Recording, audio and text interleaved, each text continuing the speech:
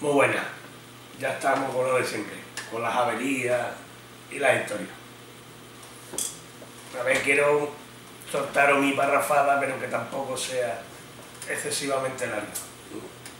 La cosa es que cuando grabo un vídeo de esto, eh, siempre sé lo que quiero decir, pero nunca tengo muy claro cómo decirlo. Sé de lo que quiero hablar y sé por qué pasa.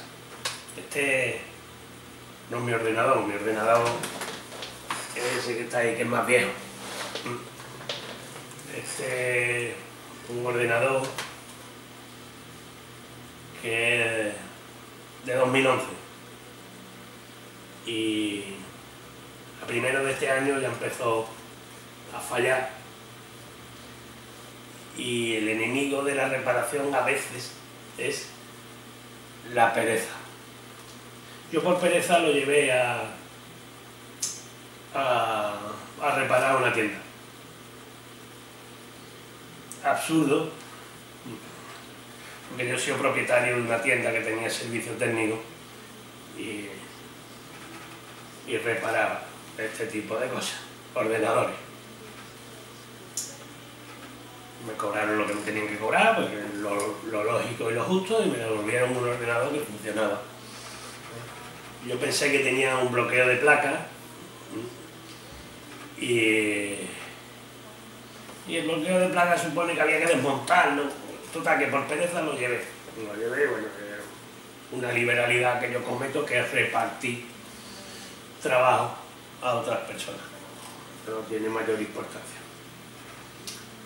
Pero desde entonces no ha ido bien del todo.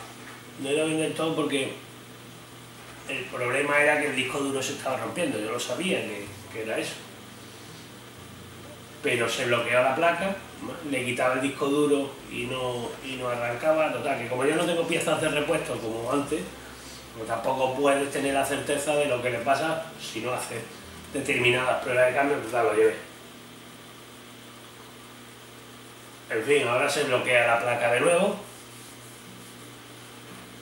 y he decidido sustituir el disco duro en cuanto se le sustituye el disco duro que ya lo tenía, o sea que dos discos duros de un tera ahí metido, simplemente es eliminar uno de, de, ellos que es el que está averiado y instalar el sistema en el otro,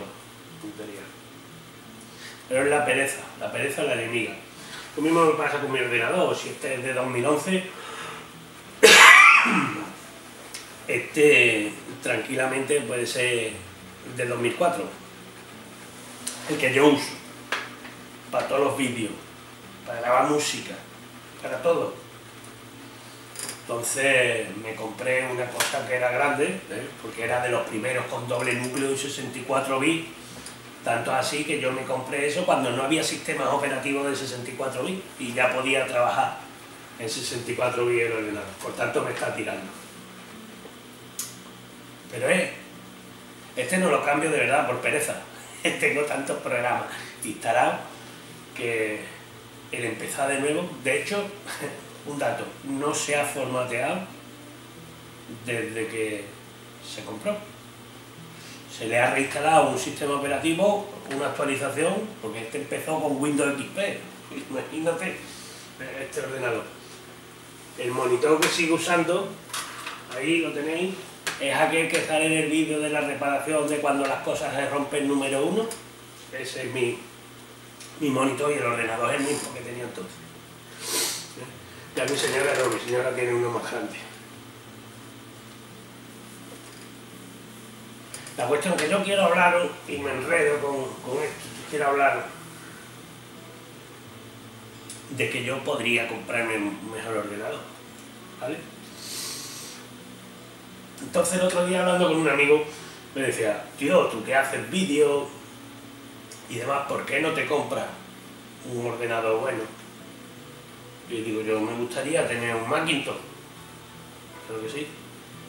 Y en vez de grabar en esa cámara que estoy grabando, con ese objetivo que no tiene luminosidad y que al momento tengo que estar poniéndome foquitos y demás para que me veáis, me gustaría tener un juego de objetivos más luminoso, ¿eh?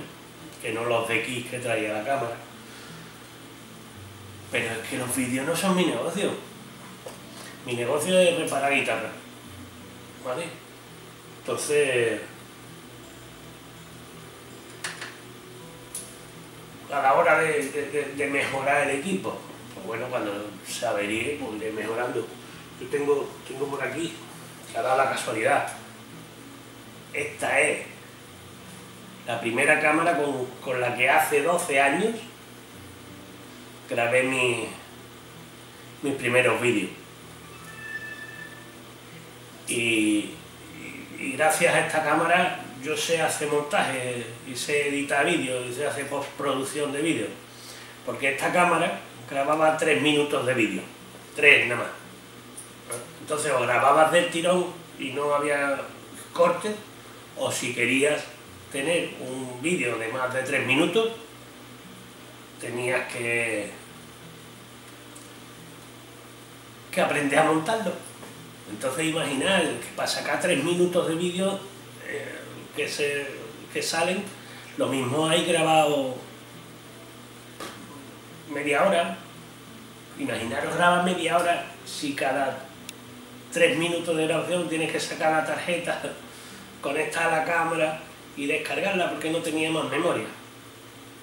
Y por supuesto, media hora de batería quizás no, no tuviese. Sin embargo, ahí están los primeros vídeos que funcionan, ¿verdad? No solo funcionaban entonces, sino que ahora os voy a grabar un trocito con esto, para que veáis que sigue funcionando.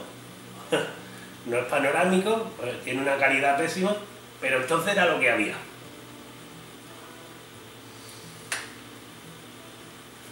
si yo llego a decidir no mejora la cámara, podría seguir grabando vídeos con eso, sin duda. No necesito otra cámara. ¿Qué ocurre? Que unas navidades y como hacía vídeos me compré una camarita de vídeo. Y como soy aficionado a la fotografía y quería una cámara de fotos, me compré una cámara de fotos que ya me sirvieran también para los vídeos. Y voy mejorando. Pero no obstante, hay que saber diferenciar entre lo que necesitas, lo suficiente y lo óptimo. Por supuesto que yo para grabar vídeo, lo óptimo sería tener un Macintosh y dos cámaras con dos juegos de objetivos y un set de grabación. El otro día ya estuve en casa de un youtuber famoso y flipé con el set de grabación que tiene. Pero ese no es mi negocio. Mi negocio no es grabar vídeo, por tanto, yo tengo algo más que suficiente para grabar vídeos. ¿Que me gustaría tener? Por supuesto que sí. Pero este, a esta hora hay dos tipos de personas, los que se compran lo que es óptimo, aunque de sobre por todos lados, y los que nos conformamos con lo suficiente. Lo mismo pasa con los ordenadores. Yo reparo porque la cosa que voy a reparar para mí sigue siendo suficiente. Os he dicho que es de 2011, ¿verdad? Pues bueno, este sustituyó a un ordenador que estaba averiado, pero que con una pequeña inversión funcionaba. Yo no recuerdo si fue la tarjeta gráfica lo que se le rompió a este. Digo, bueno, ya compramos otro porque era viejo.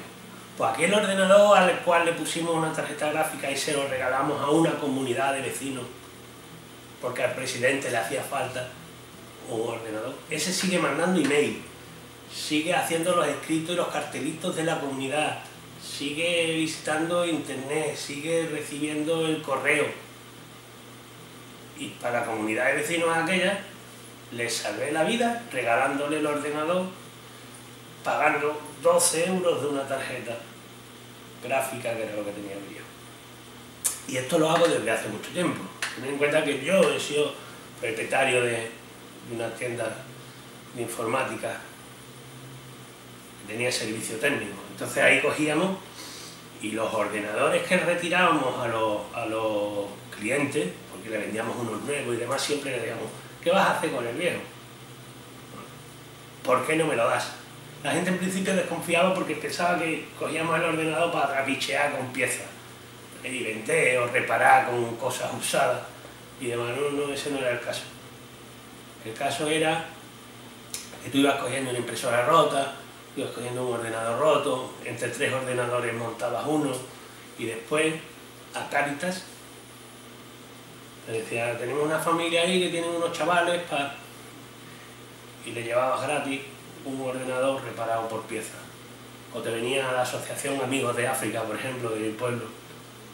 Me decía, Frasco, necesitamos un ordenador. Entonces, mira, si le compras un disco duro a este, pues tienes un ordenador. No lo cobrabas la mano de obra, simplemente vendías la pieza que te hacía falta para completar el ordenador y entregabas un ordenador en uso. En fin. Digo, ¿por qué? Porque era suficiente. Yo no digo que sea lo óptimo. es como, yo esto lo explico con, la teoría del factor limitante. Esa ha marcado mi vida, la teoría del factor limitante. Yo no sé si había hablado antes de, ella.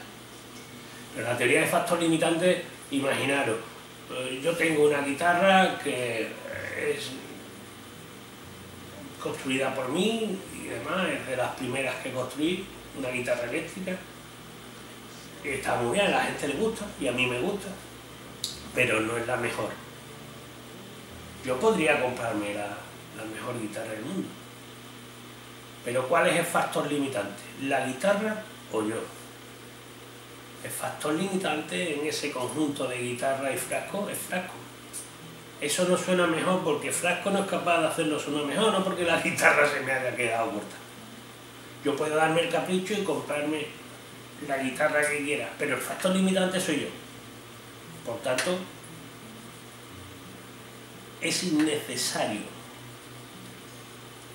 Sería un gasto superfluo, no, por no gastar, si quieres darte un capricho te lo das, no estamos hablando de ser un miserable, no estamos hablando de ese cociente de, de lo que andamos.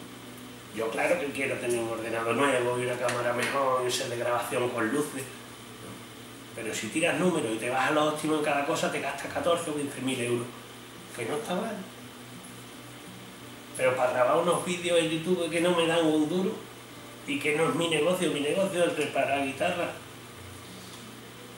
¿No, ¿No lo veis quizás excesivo? Pues lo mismo, pese a tener un ordenador muy cortito, con esto grabo música, hago edición de vídeo, lo hago con más cariño, con más cuidadito, porque no puedo hacer mucho alarde.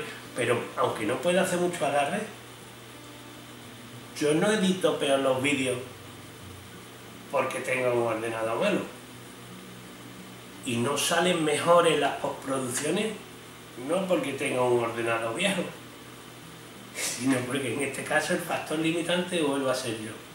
Es mi falta de talento, mi falta de pericia, mi falta de ganas de hacerlo mejor. O sea, ¿para qué lo quiero? ¿no? Reparo y sigo reparando, y muy bien, y este ya está instalándose los, los programas, y estoy grabando esto porque justo cuando se compró, como ya se rompió, está reparado de diciembre y ahora se rompe otra vez, ya había que comprar otro.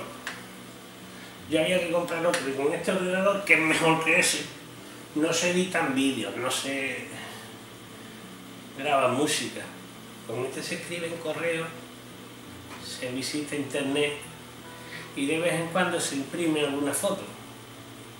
Muy parecido a lo que hace aquella asociación de vecinos, ¿eh? aquella comunidad de vecinos, con el ordenador al cual ya sustituyo yo este. que no sé ni de qué fecha sería. en fin, nada, no vengo la lata, son cosas de uno, pero que como tengo la historia de las cosas se rompen, hay que reparar, no hay que reparar, hay que renovar. Y precisamente estaba hablando de esto esta misma semana con compañeros y demás, pues yo lo voy a dejar grabado, si queréis verlo lo veis, y si no, pues ya habéis cortado, ¿no? ya no me estáis viendo. Venga familia, hasta otro día, hasta luego.